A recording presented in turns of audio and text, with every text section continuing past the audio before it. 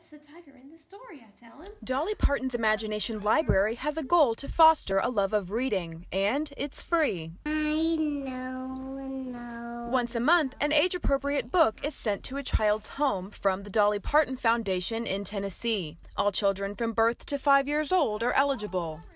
Said, "That is This is where they can learn all their sight words, learn how to read, learn how to recognize some of the pictures, some of the colors, some of the animals that they may see in the book. United Way of Pitt County and Read ENC make the Imagination Library possible for Pitt County. Currently, we um, have about 51% of our students in Pitt County or residents in Pitt County enrolled in Imagination Library. This is Lindsay Pahi. I can't read my book because Her son has been an Imagination Library participant from the beginning. Reading is just really important to us too. Um, we know it's going to help them get ready for school. I want to read. And her daughter received her first book last week. And I signed her up um, when we were in the hospital with her. Babies born at Vidant are automatically offered enrollment. brushing teeth. Reading to young children is crucial for brain development.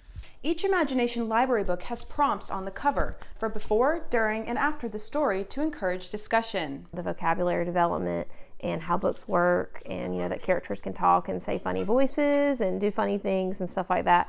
Um, it's been really important. Cooper says the difference in the students that are members of the Imagination Library is clear, and Pahi agrees. Knowing that he's going to go to school and already has a love for reading um, and already knows how to read is like, I mean, it just means the absolute world to me. To register for the program, go to imaginationlibrary.com. In Pitt County, Katie Augustine, 9 on your side.